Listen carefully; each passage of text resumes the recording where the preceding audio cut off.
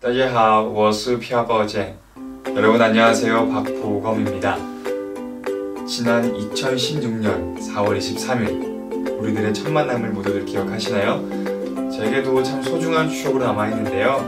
이번에도 그 소중한 추억을 여러분들과 만들고 싶습니다. 1월 22일 대만대학교 체육관에서 우리 곧 만나요. 谢谢，我爱你们。